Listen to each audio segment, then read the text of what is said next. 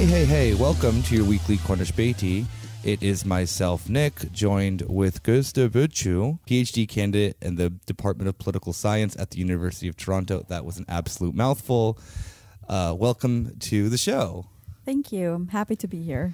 Um, so, we are um, we are recording this episode literally the day before the Turkish elections, and um, I thought I uh, coincidentally you released a piece this week on the uh, diaspora vote um, in Turkey, oh the in Germany, the Turkish diaspora vote.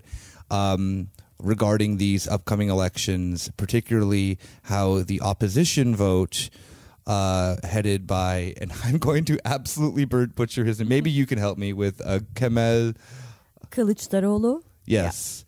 Um, and how uh, the the the the German Turkish uh, uh, voters, uh, how how the opposition looks to seek out to swing these voters who have possibly maybe uh, a, a, a bit of a stereotype of being these conservative AKP voters in Germany. They have a very long history in this country uh, that dates back, uh, you know, over 50 years, you know, since the modern German state exists, the, you know, Turkish Gastarbeiter or, you know, Balkan or whoever came mm-hmm. to Germany and have been a part of the society uh, to the, you know, like or dislike of, you know, the some German, uh, uh, uh of the conservative German population.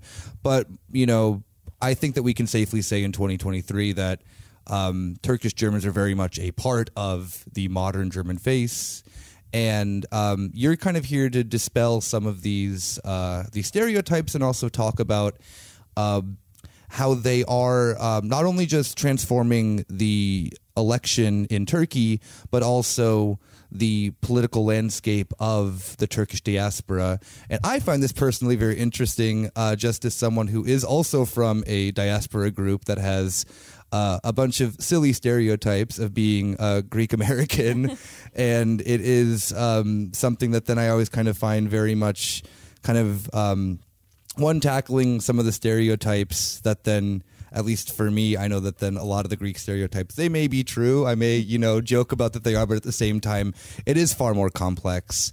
And I'm really glad to have you on to talk about uh, exactly this. So thank you so much. And where do we start? Where do we um, like? Where do we see the the, the first large influx of the Turkish diaspora in the modern German post World War II state? I mean, basically, it all started, uh, as you said, with the guest worker um, migration to Germany, uh, also known as the Gastarbeitermigration, um, which, you know, basically started a little bit already in the 50s um, with individual people being recruited by private companies and then later turned into large scale recruitment in the 1960s. And that's when um, Turks, together with, as you said, Greeks, Italians, um, and other other groups, uh, you know, came came here to rebuild Germany, and very much under difficult circumstances, right? So the expectation was that these people would leave.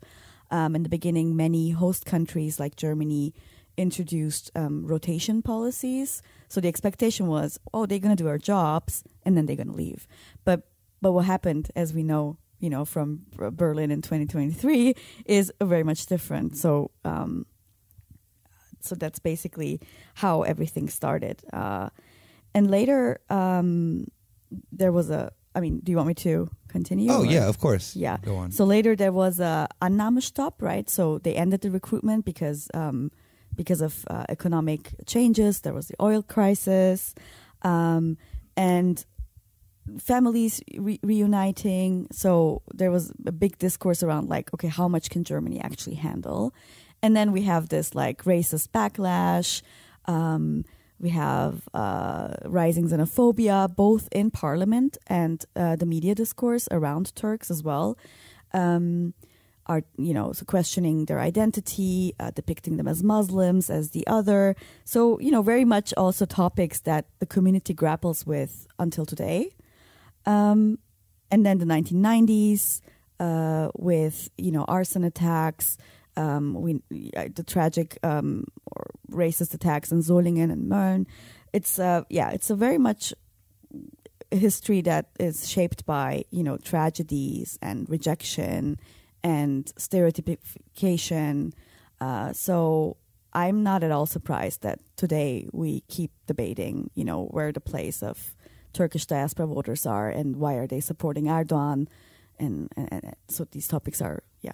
Yeah, um, I guess another like uh, where I'd want to go from there is then also that um, where did a lot of these people from um, originally like where did they come from in Turkey? Like what was the economic background of these people? Where were they? Um, yeah, uh, where where were they from originally in Turkey to then come that then Germany was seen as this you know promise of a better land? Obviously promise of better lands a bit much because they had to physically rebuild the country in order to participate but it is a very interesting kind of phenomenon that then that um yeah of of where where these people all came from Yeah, I think the general narrative is that these people were, you know, came from rural areas of Turkey, were poor, uneducated, etc., etc. But of course, um, if you look at uh, immigration patterns from Turkey, not only in the 60s, but you look at the 70s and the 80s and the 90s, you'll see that the reality is actually quite different. So, of course, yeah, the the the, the guest workers that came were in majority from rural areas. They were in need of labor. Turkey was unable to provide, you know, a workplace for these unskilled people. At the same time, um, there was a issue with foreign currencies, inflation, very much like today, um, and in a way, these people were recruited in the first place.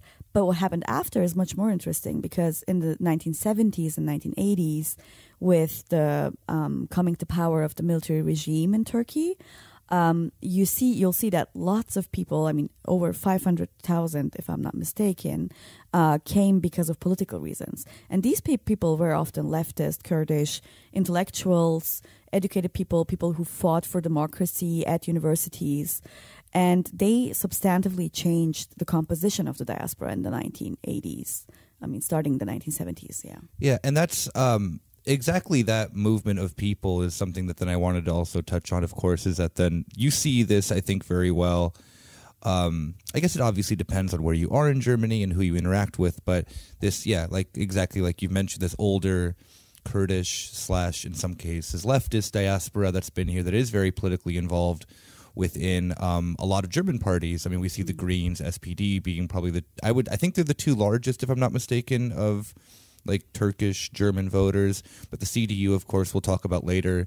Um, And, Die Linke. and Die Linke, Yeah. of course, also have um, um, pretty much every party actually is is in some way shaped by um, the Turkish community in Germany. But how did these um, groups interact with one another then when you have this older? Um, I mean, yeah, I, I, I assume it is the generation before of you know coming with the original Gastarbeiter program, and then these. Uh, you know the the political emigrants uh, from from Turkey into Germany.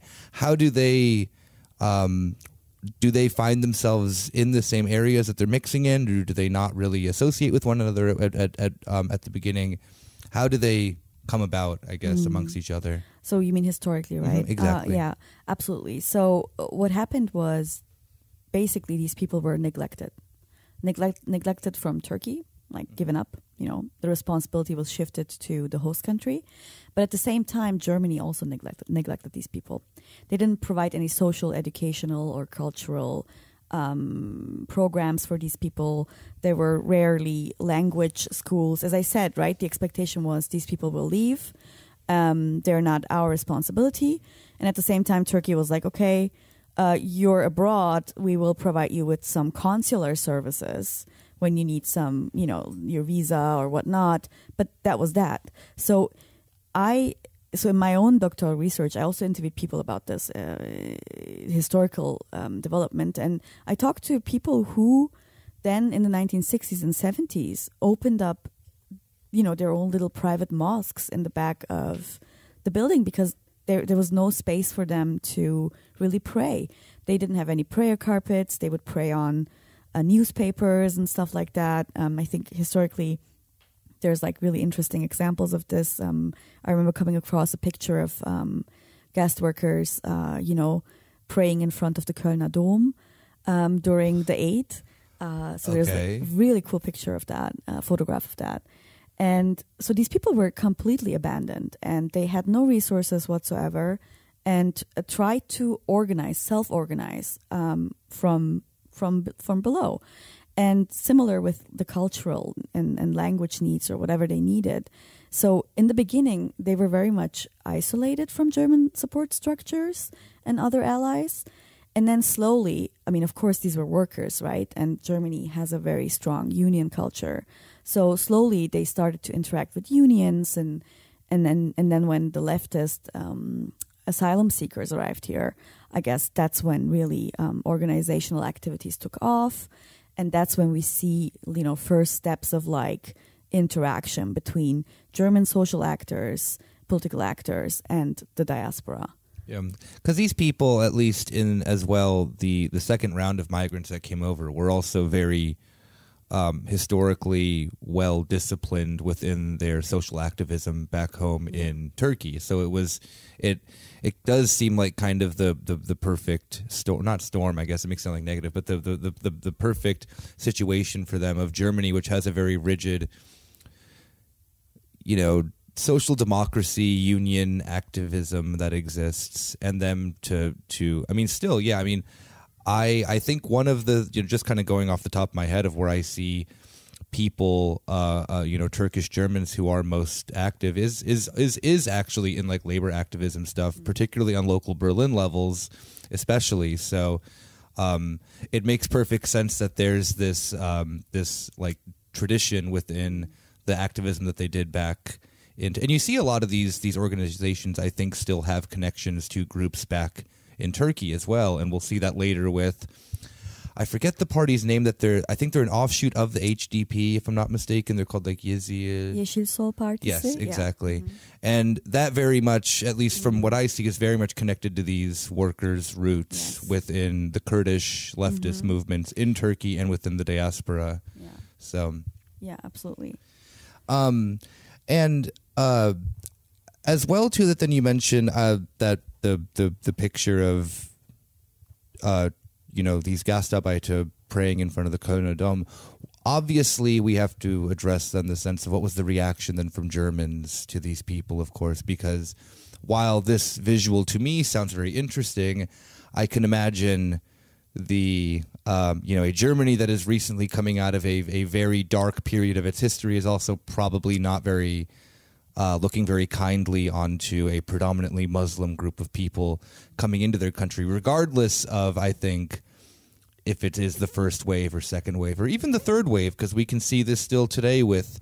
Um, I know that you know friends of mine who have come over from Turkey recently still experience um, a very what seems almost like primal version of racism in some cases because German. I mean, being from from the United States, I'm very much aware of that racism is, of course, a, an alive and well thing. But in the U.S., it just functions in a much different historical way, and these like very. I don't know. Maybe maybe I'm I'm I'm speaking too much from an American perspective, but um, I feel that racism is a bit more on the nose sometimes in Germany. That people tell you things of how they feel or see or you know how uh, about you, and if it is racially motivated, I feel that I see that stuff way more out on the open than I would say in the U.S., which is a structurally much more racist country. Much I'm not going to go compare which country's more or less racist, but still nonetheless is that then um, Germany has had to deal with a much later in, quote unquote integration of people. So how are these people? How has this interaction then changed over the years um, with a very large uh, minority population of the country? I mean, just to go back to your comparison real quick uh, about the US and, and, and Europe, basically, uh, I think the biggest problem with why countries like Germany, the Netherlands, Austria, France, um, they all, I mean, they all had a problem with uh, immigration and migration later. Um, is because of you know how homogenous state making was in Europe, whereas Mhm. like the or the attempt to be or the attempt to be yeah. homogenous. Yeah. I mean, obviously, obviously, it's it's a, it's an ideal. It's Yeah. it's, it's it's imagined. Um, whereas like the U.S. was founded on like multicultural Mhm. or like this mosaic or whatnot. But in the end, yes, uh, we see racism in both contexts. However, in Germany, I mean, as you said, because of the past, a much more problematic issue. And um, when we look back in history, there's also examples of you know guest workers being um, being placed in in buildings that were you know 20 years ago used to you know host or hold Jews in and then deport them to um, to the to the KZ basically Yeah. to the concentration camps. So and and if you like look at how these workers were treated, I mean they went through uh, ridiculous um, medical tests and whatnot. Their pictures, uh, there there's there's lots of parallels of like how how these people were treated. So so absolutely um, a big a big a big big issue in Germany in that sense. And I guess the realization that Turks in particular were the other and that this population would later then become a problem obviously was when they discovered that they were Muslim, right? So because if you look at my grandfather who was also uh, a a guest worker uh, who uh, came to Kreuzberg in the 1970s, um, like visually, he looks Italian. you know, like nobody, Yeah. like nobody would notice uh, Yeah. that he's he's he's a, he's a, he's a Muslim. So, in a sense, when they discovered that these people had religious needs and they had funerals and they had uh, their Eid and whatnot to celebrate, that's when um, I think Turks started to being depicted as the other. Not to say that other groups did not experience Yeah, any racism, but um, the finger was very much pointed at the Turks, right? Türken raus. Mm-hmm. This this Turks get out is a is a slogan from the 1980s and 70s. So yeah. so that's where that's where uh, it came from and, and and how did that then change over time it changed a little with i guess social mobility and and and and as as we just talked about the political and social integration of groups and and people coming to di- into different positions and acquiring different skills and not being workers anymore and their ability to kind of like speak up. But there there's there are also a lot of like historical continuities and and you know we are still debating whether uh you know as a turk you can call yourself a german right Yeah, it is. It is a very. I mean, it is. It's one of the most interesting things that I've seen. Of again, um, I find it very weird that there is this difference still. Of you know, I um, I find it interesting how my family, who has been in the U.S. on both my mom and dad's side, like I'm second generation American. I never have had to had this, you know, uh, you know, contemplation of am I American or Italian or Greek. It was always like, well, like I'm American, and then these other things are just sprinkles of you know my own cultural identity. But there was never like, yeah, I've never these groups, particularly yes, because of white Christianity, that type of stuff. You, they, you know, yes, was there prejudice that that, that my parents and grandparents experienced, of course, but becoming white was very easy. And there is still this thing of, um, yeah, I mean, the other being expressed primarily, and you can clearly always see it of through predominantly Islam. Um, and I think on a more modern note, we saw this again when Germany took in a lot of Syrian refugees um, or refugees from Afghanistan. That there is always this attempt to brand then, you know, this group that then is trying to seek, um, you know, whether it be fleeing a war or better economic opportunity. Germany is very obviously, of course, still selective on. I mean, we saw the Pegida movement as well. I could very much imagine that then in the 50s and 60s there was something similar to a Pegida movement of the time. You know, Türkenraus is a, a term that we, uh, I think that you're quite familiar with if you read any German history post World War II of you know the uh, the, the the reconstruction of the country. But um, another avenue that then I thought would al- is is also quite interesting is that then when you have um, eventually after generation of generation people making themselves at home, uh, where do then we see these uh, uh, just you know I guess differing groups of the diaspora finding themselves politically um, like finding their voice politically in Germany. We talked briefly about the labor movement and how in the 70s that was something that then uh, allowed activism to happen, particularly because of the leftist movements that they'd been in. But there aren't just left wing Turkish diaspora. Um, it is far more complicated. It is also far more complicated, I think, in the sense of that then just because someone votes conservative in Turkey doesn't necessarily mean that they vote conservative in Germany, which is also a, a very interesting phenomenon. I think so. Um, who do we kind of see historically become the like first political parties of Germany to start reaching out and being and recognizing that there is a a populace that is very much German as well as you know being unique and and having you know their own individual voting wants and needs. I think um, probably it's the Social Democrats, right? The SPD, um, which then uh, closely um, forged ties with different organizations in the Turkish community, the Turkish Gemeinde. Um, the Turkish community here started to form its own umbrella organization after the, uh, especially with Mölln and Solingen happening, the arson attacks and the killings. So, um, so the SPD would be would be the, the, the first place to look at, and and that's where we see you know uh, the first uh, figures kind of like appearing, um, but also the Green Party um, kind of like opened up avenues for for immigrants to get engaged in. But I would still say that you know it was it was still the exception, right? Like in Yeah. the nineties and two thousands, like the biggest figure in German politics that many people go back to be Cem Özdemir, Mhm. um, the Green Party politician and now um, minister. Minister. So Minister of Agriculture, I think, Agriculture. if I'm not mistaken. yeah, absolutely. So, um, so these would be the first parties that that really like interacted, um, and of course, the Die Linke always also had an interest in reaching out to different groups, and then uh, yeah, well, CDU, CSU um, very much demonstrated an antagonistic stance to migration in general, but also kind of like, um, you know, not rejecting Islam, but really.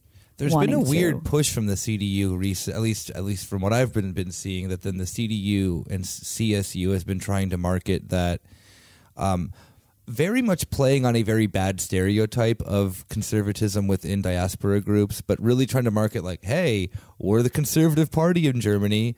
You guys have conservative values, right? You should be a member of the CDU. And it's actually been like maybe not wildly successful, but I've been quite surprised in um, how many, at least candidates I see who are um, Turkish German running with the CDU.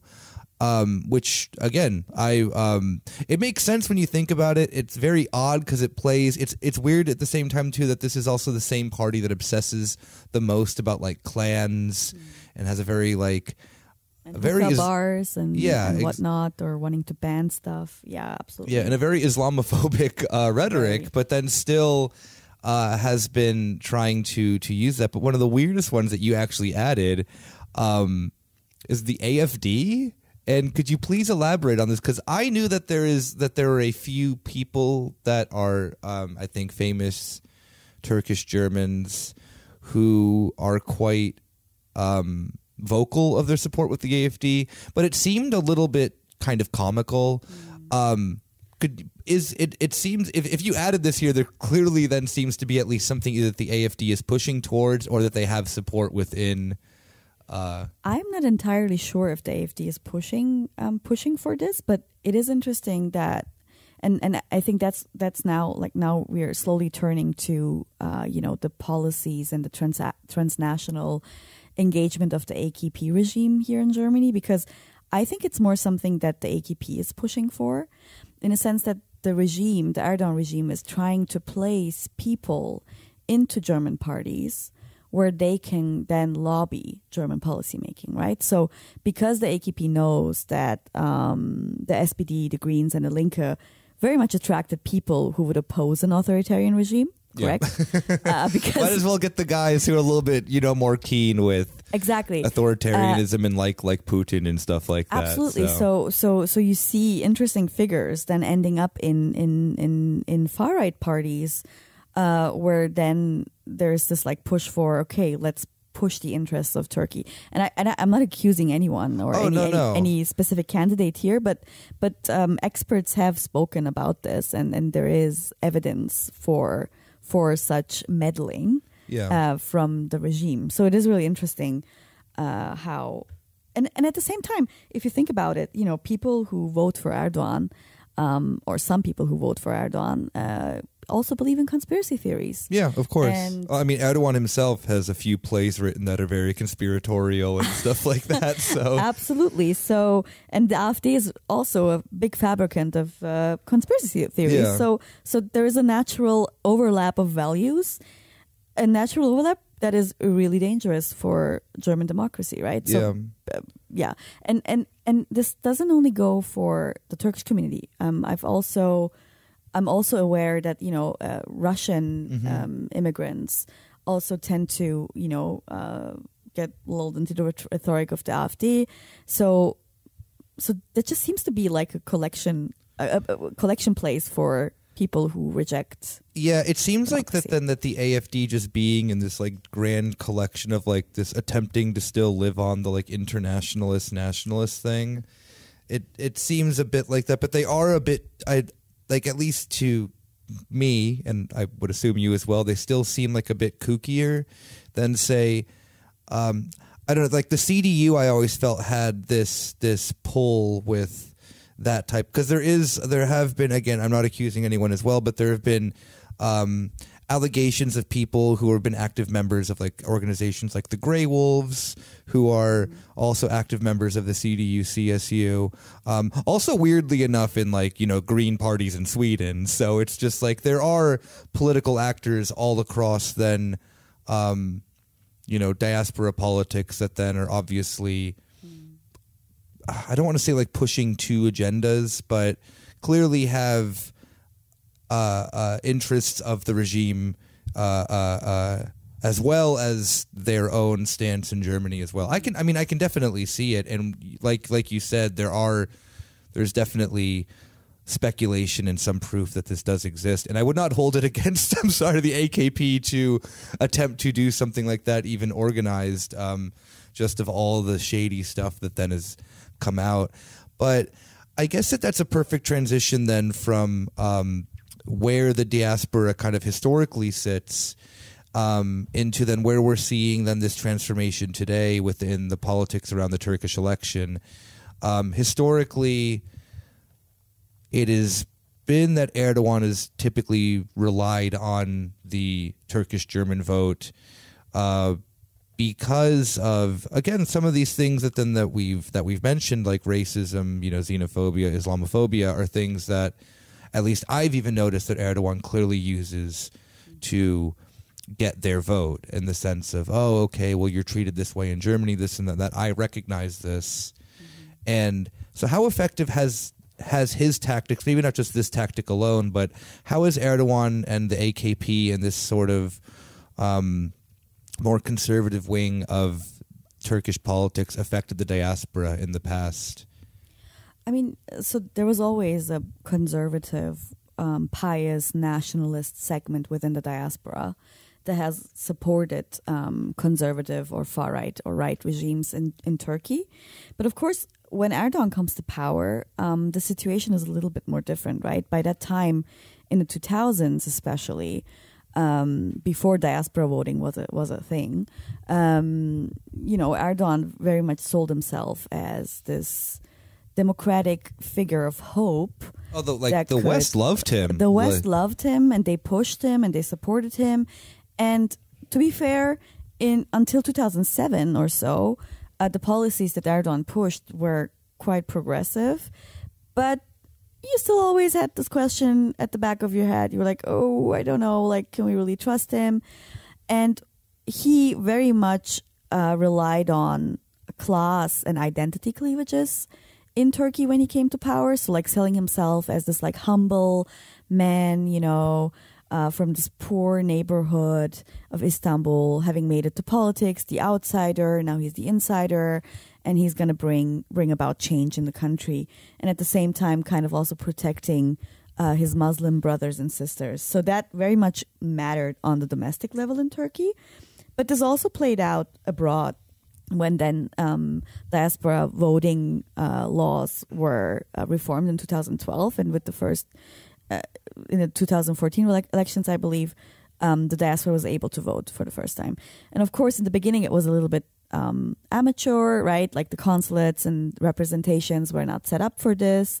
and participation rates were quite low. But over time, uh, voting participation rates have gone up to 50%, which is quite high for, you know, uh, voting from abroad. Um, so that really worked, worked, worked well for him. And the pull was then very much to, okay, Europe does not want Turks in the European Union, right? At that point, we had reached the point of like, okay, for some reason, um, European policymakers are blocking Turkey from entering, and they're coming up with these different acquis communautaires, opening up different um, chapters and and Cyprus and whatnot. I mean, you're Greek. I don't have to explain this to you, but like, yeah, opening up Cyprus is like op- opening up a black hole. Yeah, so course. really, um, yeah. So so that very much, I think, resulted in. Uh, the, the diaspora, or uh, just speaking more generally, to to a point where they were like, you know what? If you don't want us, we don't want you. And now we have Erdogan, and he is great, and he's the strong man, and he's he stands up for us, and he talks directly to Merkel, and you know, and so that had a very much a huge effect on people here. I would say in the diaspora, not only here, I mean, all over Europe.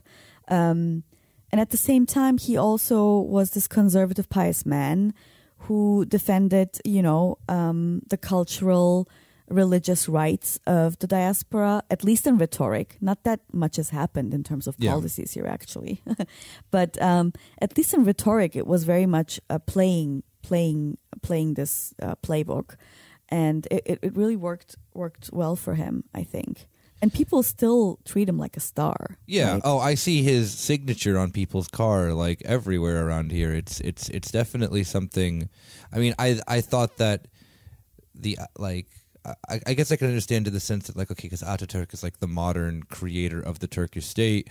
Regardless if I find the cult of personality a bit odd, I can at least.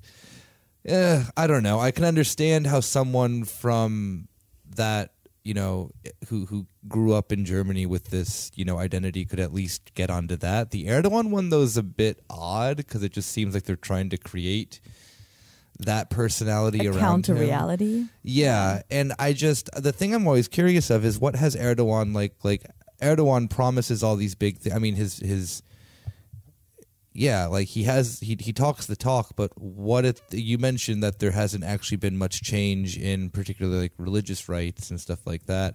Um is it mostly just show or does he actually provide things that then that people whether I guess whether it be in Turkey or the or, or the diaspora or is it just continuously just the same promises? I mean, what he what he did in in material sense was really. If you look at Berlin, for instance, the Turkish embassy was completely rebuilt, and now is this like massive, beautiful building in Tiergarten that just looks amazing from the outside, right? And at the same time, there he also um, co-led and co-financed, I believe, um, different mosque projects in, in in Germany. So there's this like huge DITIB mosque in Cologne, for instance, that he then came and opened, right? So Turkey's religious um, authority, Diyanet, very much um, you know went through reforms under Erdogan, and I think a lot of state resources were invested. So you would also see that in the in the diaspora, you know, with imams being uh, paid more properly, and um, the services provided by mosques that were um, led by Turkey or tied to Turkey, you know, being uplifted. So it did, I guess, for for the pious and the um, nationalist seg- segment that goes to the mosque, it did make a difference. They've also But- become far more politically active. These uh, these organ uh, the biggest one you just mentioned as well. I just forgot the name. DITIB, yeah, Yeah, Mhm. um, particularly in Berlin and NRW, in areas like this where there's a large uh, there's a large Turkish diaspora. They've been very influential as well in influencing very conservative politic, very pro AKP Mm. Uh, politic, and and if I'm and, and tactics as well of of getting people together to you know rally the vote around Erdogan. And I think that they're an organization that then we do have to maybe address as well that then has has um has been very yeah has has, has been a key key political factor within at least the AKP's goals uh, within Germany.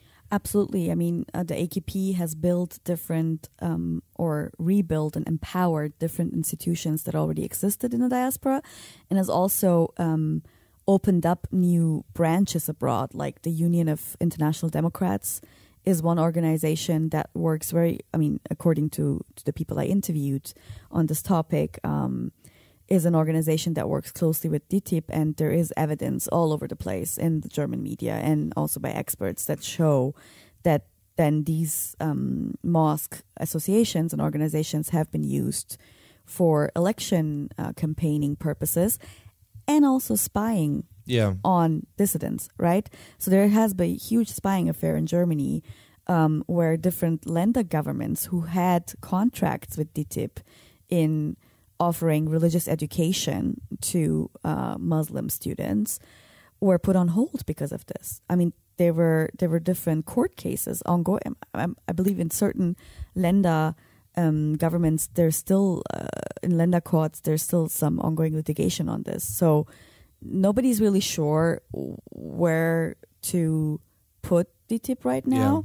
And at the same time, as much as you know DITIB's services maybe been expanded, the whole controversy around DITIB has had a really bad impact on the making of German Islam, right? So, you know, there there was this attempt of having an Islam conference, um, which which then uh, you know culminated in different projects, but in reality, Erdogan's meddling has harmed people here rather than it, it, it helping it, right? How has that then um, affected maybe then younger people of the diaspora's relation to their religion then in that regard? Saying, I mean, this is maybe a little bit off the wall because it could be just personal to the you know individual who is experiencing it, but.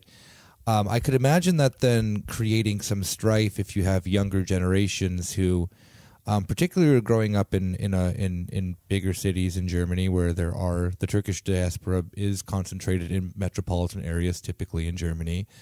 Um, is there a, a clash here, or are they actually quite good then in offering then educational services as well to you know, uh, because you know, depending on how conservative someone is, their upbringing within you know the church or the mosque is quite integral. I know for myself, I very much had a, a religious upbringing.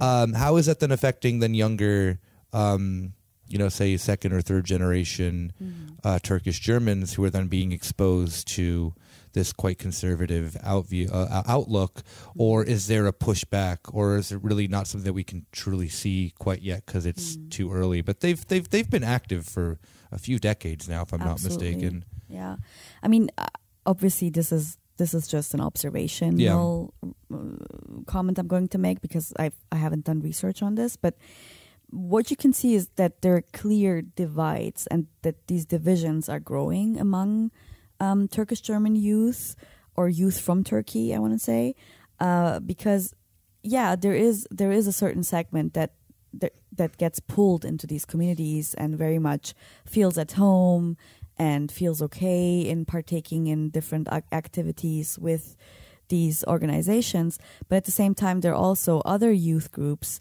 who you know feel left out or feel discriminated by the German state and would like to seek shelter or would like to be seen by their home states but cannot really partake in these activities because you know they may be conservative but they hold different ethnic Yeah. and uh, and racial identity that just doesn't make it possible so so there's there there are huge huge divides among German youth German Turkish youth I want to say in terms of where they can really go and who they can connect with and I think it really depends you know on, on your family on the upbringing and whatnot so that's a very uh, complicated matter. Yeah, of course. Um, I, it's just kind of interesting because I'm thinking in the sense of that we live in Berlin, and one of the aspects I feel that then a lot of people don't realize that then makes up a large part of the youth culture, particularly like popular youth culture, is um, whether it be Turkish or Arab or whatever you know diaspora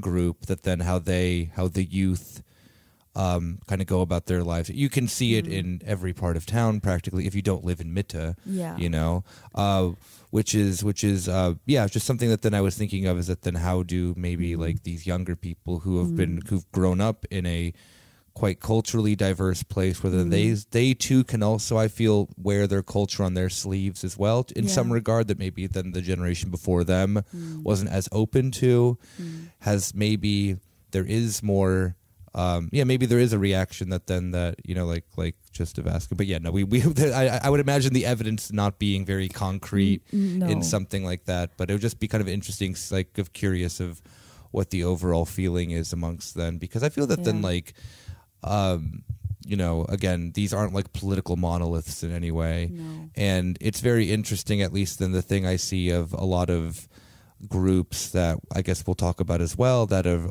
have appeared up in the in the diaspora as well that do wear their culture on their sleeve very much but then are also very much anti AKP, anti Erdogan, um, not always necessarily in a like in agreement with one another. Of course, either there is no there's there's this isn't some magical harmony of pro anti Erdogan. There's a lot of complexities.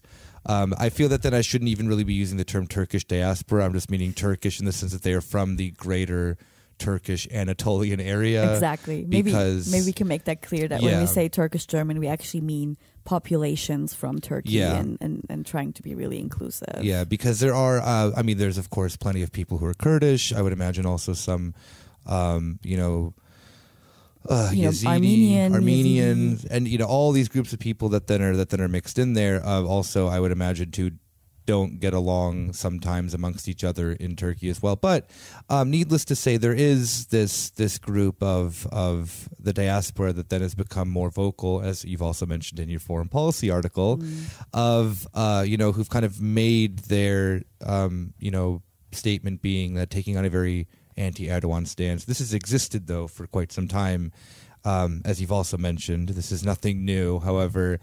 Uh, there's also a new group that then is being added to added to the diaspora. I I wouldn't necessarily call them diaspora, just these newer migrants from Turkey who, because of laws in the countries, they're allowed to vote in Turkey as well, and they're also getting politically involved as well. So, what is um, how how how do we get from then the 70s groups of these activisms to then you know Gezi Park and the um, I guess you could I, you can use the overarching analysis of Turkey's pride demonstrations and stuff like that, the anti-LGBT movements and stuff like that that Erdogan's been taking on that has led to a lot of people leaving the country. How do we get then to the point where we're actually considering that this group is big enough to have a major influence on the Turkish election? Because previously this wasn't as much the case. It was always assumed well, the German Turkish vote's going towards Erdogan in some ridiculously high number or not, but um, yeah, like what what brought us to the point where then that we are now having this conversation, and you wrote an article uh, earlier this week about about it. Yeah, absolutely. I mean, uh, the Turkish opposition was always uh, present in the diaspora. I would, I want to say, um, as I said earlier, right in the 1970s and 1980s, uh, we have this opposition to the military regime, and later, uh, you know, political opposition or diaspora mobilization because of the atroc- atrocities committed against Alevi religious groups or uh, the Kurdish uh, population in the 1990s. Um, and I guess the biggest reason why we didn't see this in previous elections is that these groups have learned, right? Ever since uh, diaspora voting was allowed in the diaspora, um, and different political parties were able to open up representations, these people who were previously loosely, you know, networked and aligned in their opposition to uh, growing repressive tactics of Erdogan, then all of a sudden came together and, and started to organize, right? Like Gezi marks the first moment or momentum where people came together in the streets of Berlin or Cologne or uh, London or Paris. And then they thought, okay, well, there is, we are actually many and we, we do have a voice and we can show our solidarity. But at that time, uh, I want to say the mobilization towards the homeland, uh, towards Turkey, was very much periodic and topic based. So you know when there was an attack in in in southeastern uh, uh, Turkey, um, the Kurdish groups would mobilize. Right when something happened because uh, towards towards the Alevi population, the Alevi community in Germany would mobilize and go out in the streets. But Gezi was really the first time when people were like, okay, we are united against this autocrat. But at that time, there was no political consciousness. And I think people also did not know that the diaspora vote could matter so much.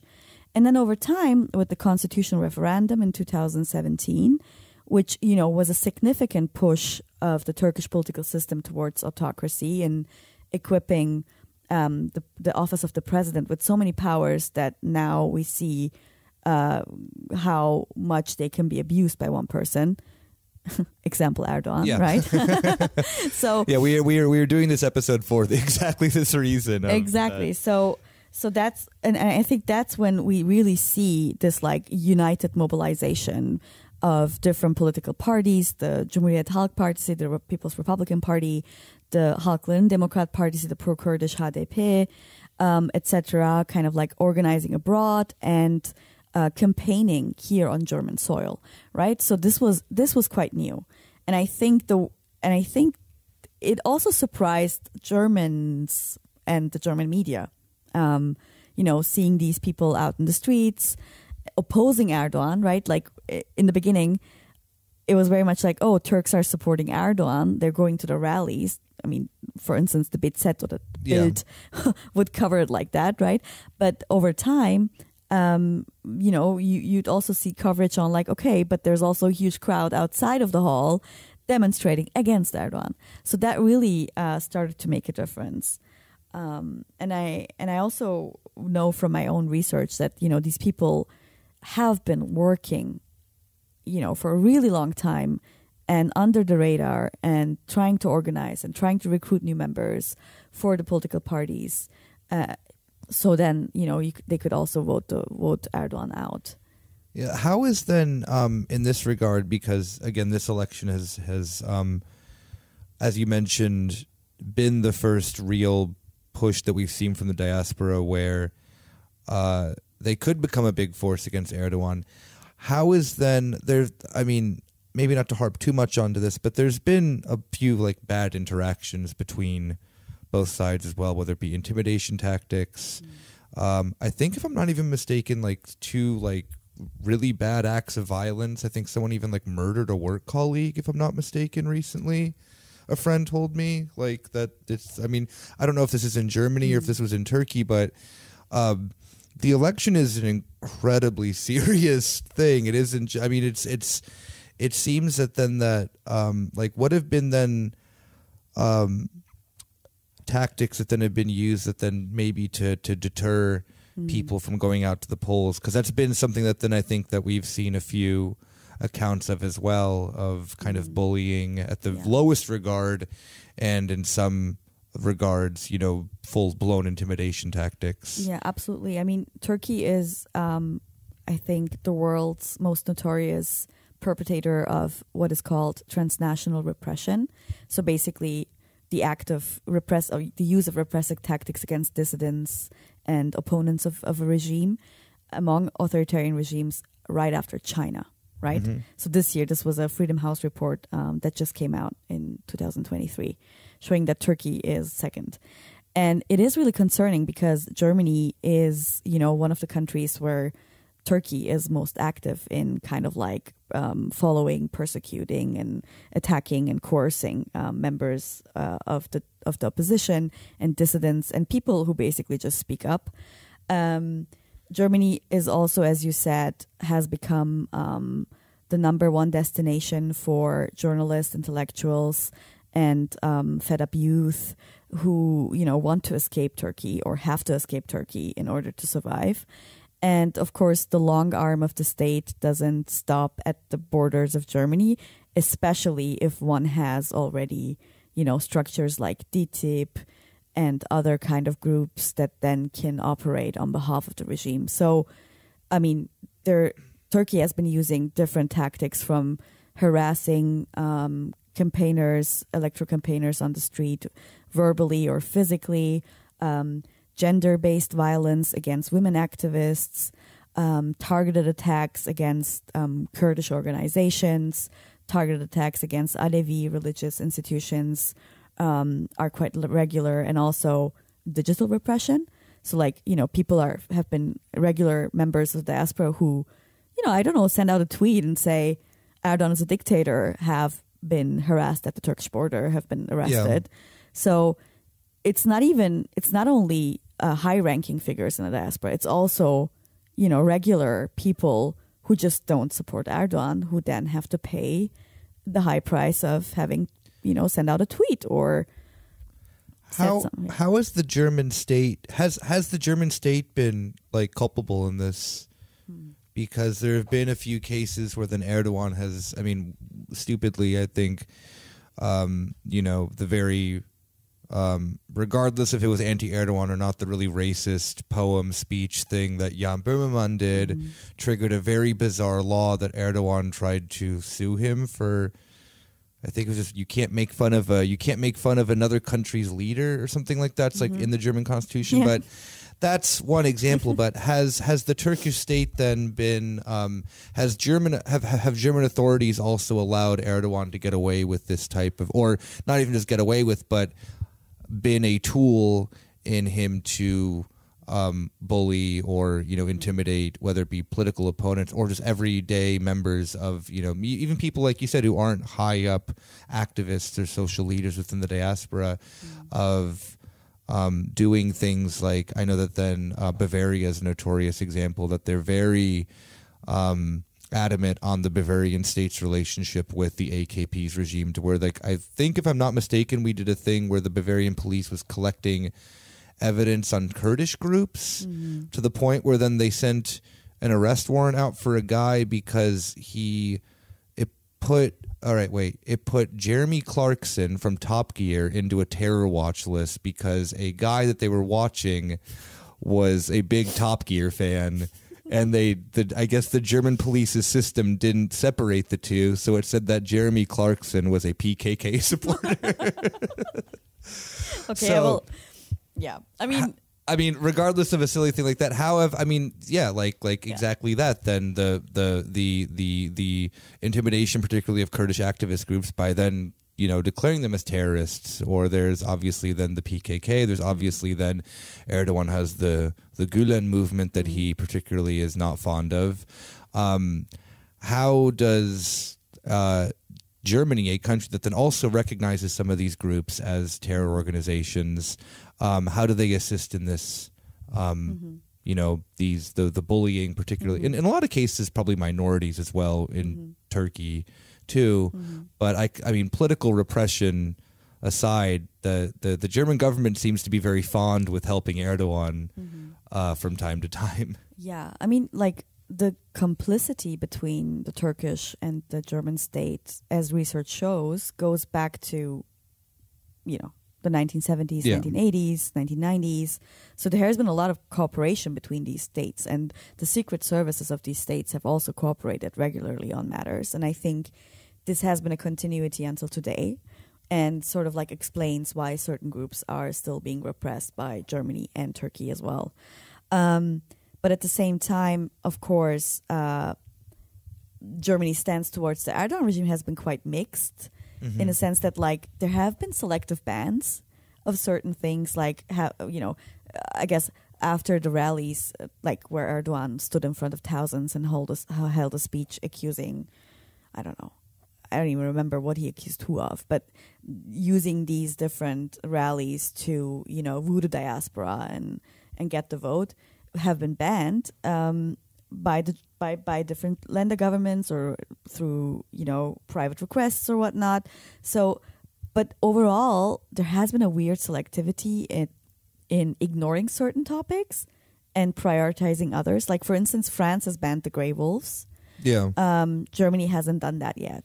It's and also it's like one of the largest organized uh, gangs in Germany too. Yeah. So and, and and if you look at the Verfassungsbericht, uh, like yeah. the uh, German uh, protection of the constitution, the organization, uh, they release reports every year, and you can see that they're monitoring these groups. There is surveillance. They are aware that these groups are active, and the AKP regime is being mentioned, and the different transnational apparatuses are being mentioned. But we really don't know, you know, what what these people are doing, who they are targeting, um, the numbers. I mean, I think there has been like a, a Bundestagsanfrage, like a question in the parliament by I as far as I can remember, um, uh, policymakers from Die Linke asking, you know, how many Secret Service uh, personnel is actually active in Germany, and and and and you know, they've released some numbers, but really don't know what they're doing. So Germany, uh, together with other European host country governments, have has been quite dormant on these issues, and they haven't they haven't offered real policies and measures to not only protect people from transnational repression, but also to actively empower the political opposition, Yeah. right? So so there's a big mismatch of, you know, wanting to or wanting to be a democracy, but at the same time um, really making sure that these groups that are anti-Erdogan and pro-democratic uh, face an uphill battle, not only in terms of like the Turkish state, but also here in Germany. Yeah. Um, I one more question before we kind of move on to then the last um, the last piece. I was just as, uh, curious in the sense of how does Erdogan use then these bans of his public speaking for then his benefit here in Germany because that's become a very big issue here where again Germany will strike a very weird law where they say that oh well a foreign leader can't address you can only address in person but you mm-hmm. can't address for campaigning reasons mm-hmm. or whatever. They'll pull these weird laws out of nowhere it feels like that aren't really um I, they don't very feel seem very legitimate when you think about it. It does mm-hmm. seem at one point again I feel that then whenever Germany does something that then is anti Erdogan, it doesn't really come off as being anti Erdogan, more so just like anti Turkish uh, sometimes. And I feel that then Erdogan really probably leans into that too, no? Of that then, hey, you want to see me, don't you? The German government, you know, like, you know, those, the, the, the, the repressive German state doesn't want you to be you and to you know come and see me live on the big screen surely that has to work for a lot of people in germany to uh, create this sense of you know again uh, like that the german state doesn't want them. They're kind of in germany but they're turkish you know so Erdogan, like that, that surely that's that's that's right up his alley for campaigning. Yeah, absolutely. I mean, like Erdogan has been notorious for instrumentalizing yeah. anything that has been done against him, right? So, um, and and that would be an excellent example of like how he then instrument instrumentalizes these like moments where, uh, you know, he accuses them back as being. I think. I mean. Uh, he accused them of being Nazis, right? Like he accused. so, like, I mean, it's, I mean, you know what? It, it, it's it's it's an evergreen insult to the Germans. You know? yeah i mean he was like oh this works let's just use that i guess um but yeah but also like i think that the turkish regime has also been kind of like tracking Islam islamophobic events in germany as well. Like there has been a website as far as i'm concerned that tracks like Isla- islamophobic events and attacks against the diaspora. So there's very much interest in using these these things. As well, too. I mean, something that then that well, we're not going to really touch on, but Turkey has definitely doubled down on their influence media wise internationally with um, is it is it TRT is what it's called the Turkish Yeah. uh, the new radio uh, uh, television ah, i forgot the Yeah, it's but- the but it's the new TRT, English yeah. language, like it's their version of like Deutsche Welle, more or less, from Yeah. like state media and whatnot. And there's a sometimes you'll see things and it's very whatever. You're like, okay, whatever. Report about Russia, Ukraine, and then you'll hear like a report about like something from the perspective very clearly from the AKP's perspective on like uh, they love going off on the Kurds. They uh, the, the, the Yeah. TRT's position on that is very clear and, and very problematic. But surely that's also had an influence with Erdogan as well of of maybe not as successfully changing policy Hmm. um, as say other countries have had with their you know international media outlets. Um, but but but surely yeah the, the the reach has definitely increased with Oh, yeah. the internet and especially you mentioned things like whether it be tweets that then that you Mm-hmm. can't get in. Also, cyberbullying uh, from the you know pro regime things have also is is I mean, Yeah. if you type in Erdogan's name, if you make a tweet, you're gonna have Mm-hmm. three people with like you know a Turkish flag come and tweet at you, and sometimes not very nice things, and and you know very very uh, uh, Mm. in some cases harassing people and whatnot. So um, yeah, it is. It is. Um, there was the one last topic that then I also just wanted to quickly cover before we before we end here was then also the like this this composition within then this new like the new the new waves of of um, workers Turkish workers into Germany not Turkish German but Turks into Germany um, and the influence how then uh, they're forming politics as well because these are people who are particularly from um, you know much more progressive backgrounds, particularly the LGBT community, and how are they then um, kind of driving? Also, they are very disciplined in their activism. I've noticed because if you've gone on any left wing protests since I would say probably since I've lived here in 2013, um, there have been more and more and more. Uh, as, as as you've mentioned too, not even just single issue Turkey things, but just that the general anti-regime message has gotten larger within uh, these these groups, and it feels that then also it's taken on a very queer coded message as well too, which is of course uh, something that then I always welcome into uh, the discussion. But how is this then being uh, treated within then these groups as well? Are they um, finding themselves politically at home in Germany, but then more or less within more isolated left wing groups?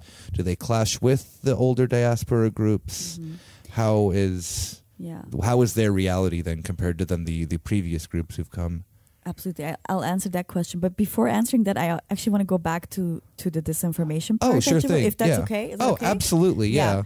So you're absolutely right that the media plays a big role in the diaspora as well. I mean, like wherever you go, I mean, even in my own circles, you go to to a friend's house, the family family house, the TV's on, Yeah. and it's usually state television, and the media in in Turkey is you know under the control of the regime, very much like in Russia. You know, when you Mm-hmm. turn on Russian television or watch Russia Today or something like that, you'll see you know Yeah, very close to a very- Putin. Yes. Exactly. So so so that obviously plays a big role in the elder or older generations that still watch TV.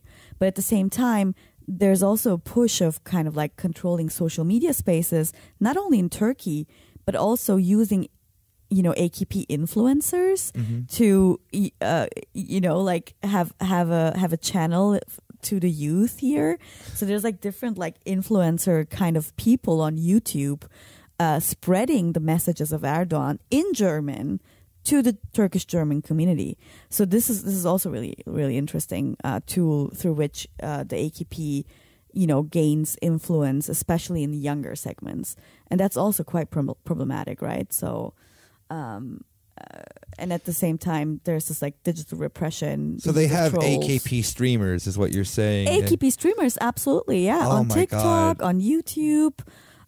I mean, e- probably even on Twitch. I have no idea, but like, yeah, it's it's crazy.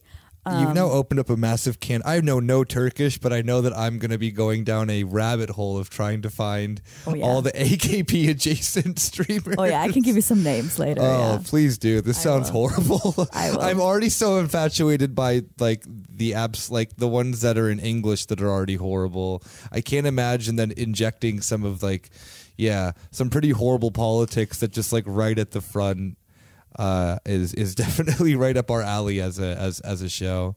Yeah. Um, So turning to your the second question, to, to, yes. the, to the second question that you were talking about, like how are the the new Turks or the new? I, I guess they call them like yeah, the new wave, yeah, okay. uh, new wave Turks. Um, how they've been dealing with uh, Germany and, and, and, and how they've been handling their new position in the diaspora. So these people who arrive from Turkey are usually younger, white collar, secular, skilled people yeah, who have arrived or left the country after Gezi, right? Yeah. So Gezi very much marked a big, um, was a big was a big, uh, sorry, um, what's it called? it was a it was a major like political moment. yeah like a major political moment um, uh, for for people to be like okay fuck this. I'm not going to uh, i'm not going to stay in this country anymore. I don't really see a future. So i'm gonna immigrate to germany canada the united kingdom australia or wherever i can find employment. And i wouldn't go as far as i mean i wouldn't go and say that everybody who has arrived is political Yeah. there's also a huge apolitical segment which I've interacted with. You know, and I've met a handful of these people as well too. Yeah, it's very so, yeah. so I it's very interesting. So they're like, I want to build my life. I don't care about politics, and I certainly don't want to interact with the diaspora because these people are workers, and Yeah. you know, there's also huge stereotypes ab- about Turkish Germans in, in Turkey. Yeah, of course. so so many people feel like they don't belong to Turkey, they don't belong to Germany. And these people who have now arrived in Germany are sort of like often also looking down on um, the diaspora, right? Yeah, they find them like the like, at least the interactions that I've had with. Uh, I, I I think that your description of them being white collar and of a, a particular class more often is is a perfect description because yes, I think that we see then particularly the what we want to see of them, the the more politically active side. But you're absolutely right that there is just like I've I've met people who their general politics are just like yeah whatever I just don't like Erdogan but that's about it. But I also just like don't want to be in Turkey. Particularly the economic crisis is something that then has become a, a, a much more uh, uh, has been a factor for people leaving the country. Um, you know, where you have a day to day uncertainty of what your goods cost is definitely a reason of why you would leave. And a lot of people typically have family or friends already in Germany or one of the other countries. Um, so yeah, and, and, and there really is, yeah, there really is. Um, I've heard from from people that I know that they're like, you know, uh, yeah, just some some even amongst like you know they've they've they've they've mentioned that oh yeah we do view like kind of the diaspora as like kind of like this like quasi backwards ish mm. old fashioned conservative group of people which is very similar to then how you know Greeks view the Greek diaspora. I've I've I've met Greeks and they're all like I'll tell them of things of just weird family stuff that like happened when I was growing up. They're like people have not done that since the 60s and i'm like yeah you're right they shouldn't. These are stupid practices. They're, they're they they are a bit weird. And yeah like there there is uh but yeah like there there there is a bit of of, of snobbishness sometimes that I've, I've noticed as well in this regard. Um but yeah sorry Yeah, on. but I but I mean they are, uh, but, but but but I've also talked to people who are incredibly political Yeah, and who course. have who've immediately integrated into into the new uh, the old structures and who are interacting with, uh, you know, uh, leftist and democratic and, and, and, and groups that have been active here in Germany uh, in the diaspora since the 1980s. So so it's it's a mixed bag, I want to say. Um, but it has revitalized um, at least the street level mobilization culture and also you know during the observations i've been doing for like this 2023 election is that you know many younger people have also joined the transnational parties and are really active and and supporting and and and and it's it, it has been revitalizing i want to say so so it's a, it's a good it's a good thing Oh yeah, absolutely. And I guess just um, on one final note, then before we leave, is just then what is then like how have we then seen Germany more or less do? Because this is a very interesting thing where I think that if I'm not mistaken. The Greens have taken up an official party position against Erdogan. Maybe not official, but they've at least the Turkish community of the Greens have come out saying that they're taking an active anti-Erdogan stance. Um, there was a lot of odd reactions from a lot of Germans being like, "Oh, well, you can't do that," which a political party can endorse or not endorse a candidate. I think this is a very normal thing.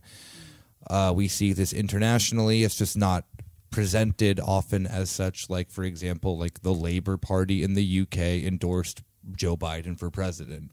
They make an official statement. It doesn't really get like parties are allowed to do this thing. Parties are allowed to then, um, particularly within you mentioned Cem Özdemir, who's one of the most notable people uh, uh, uh, within just German politics in general, who is of the Turkish diaspora. But um, has there been much other support from then Germany in regards to then this opposition, or has it just been kind of a thing that then like Germans see themselves of like, well, yeah, like I'm anti-authoritarian. I hope that that Erdogan thing, you know, you guys take care of it. You know, good luck. See you next week. Let's see if there's round two, whatever. Or has there been like a a um, maybe in areas that we haven't seen like a more uh, uh, you know coordinated effort amongst political organizations uh, with this community? I mean, it's a hot potato, right? Yeah. Uh, it's uh, especially for government parties. I want to say, like those part the parties in power. I think um, coming out and taking an official stance is impossible Yeah. because of German interests, right? And the biggest interest that Germany has in Turkey right now is to keep refugees out. And there is We this have not even mentioned that yet. We've not even talked about this, but this is this is probably one of the major factors explaining, um, you know, Germans Germany's silence towards many of the issues. But at the same time, it's also kind of a global trend where host country governments are not doing enough to protect Yeah. uh, dissidents, not only from Turkey but also Iran, Syria, Russia, China. You know, And it's So- also just something very interesting too, with that Germany does this this aspect of um, they they feel that they've absolved themselves of their sins because oh we took in so many refugees at the beginning. Well, first off, look at how many have stayed. First off, second. The entire Western Balkan project that then Merkel was like her like last dying wish was before I leave office, let's at least get that started. Wasn't she even admits there's no economic reason here for the Western Balkans to join the European Union. It is strictly security for migration. So the EU and I mean, yeah, I mean we can rightfully call it for what it is, but there's the white supremacy that then just exists at at, at the core of these institutions. Mm-hmm. But yeah, I mean Germany has been entirely complicit with uh, the the you know yeah exactly this mm-hmm. the using people as a bargaining chip for hey keep this guy in power. He has a deal that we have made. Mm-hmm. Let's just quiet ourselves because if it ends up in our favor still then we're fine with that you know Exactly, and that that has very much empowered Erdogan and brought Turkey to to, to the place where it is today. Um, that we have to like, you know, not yeah, not overlook. But um, what I want to get back to is really okay. So so there is this like hot potato, and the government parties cannot comment on it.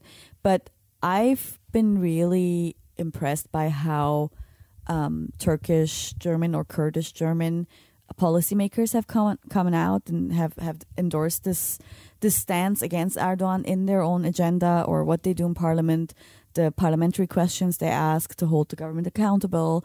So there is there there are people who are actively trying to bring about change, but it's very much punctual. Like it's it's yeah, it's not as effective and and and and I and and I think it's very much motivated by political interests of Yeah. not wanting to step on Erdogan's feet and make him angry. So yeah, it's it's a sad, sad uh, situation. yeah well ending on a sad note. yeah unfortunately um i mean I, I i don't think ending on a sad note because we had a very uh a, a very nice discussion of i hope that we broke down some of the stereotypes of this not being a monolithic only akp supporting diaspora and that it is much more vibrant uh Gözde, thank you so much for coming on uh where can our listeners find you Uh, you can find me on Twitter under at goesdeboju um, and, and follow me. I guess that's one way. Um, I'm also publishing on these topics, um, academic and also journalistic stuff. So, yeah. Okay, and I'll add your article as well from Foreign Policy that you released as well earlier this week called How Turkey's Opposition Seeks to Swing Diaspora Voters. Um, it is a uh, much more concise view of maybe the last 30 minutes of our discussion. Uh, but thank you so much for coming on. And uh, to all of our listeners, we will see you next week on Monday. Take care. Perfect. Um, do you think we can? I just uh, noticed that I'm.